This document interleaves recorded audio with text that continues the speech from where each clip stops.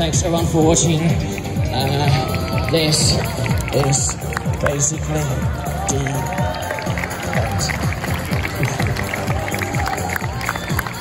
Whoa. Yes, they're alive. Ah, catch me, catch me. Uh, here we go. A little bit of special effects. Uh, wait, wait, wait. I will. I'll just quickly come over here. Just one more thing I'll do with the torches. One more thing I'll do with the torches. I'm gonna I'm gonna pick up the QR code. I know some some people do not carry cash. There's easy way to scan a QR code. It is the way to my social media as well. Thanks everyone for watching. It was my show. And uh, I will not chase anyone. I'll be just holding up my hat.